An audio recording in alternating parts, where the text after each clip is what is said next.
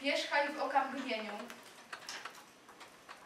To też szast prast na półtora hektarowej rubieży swarzyli się buńczucznie czupurni i rozchuliganieni adwersarze.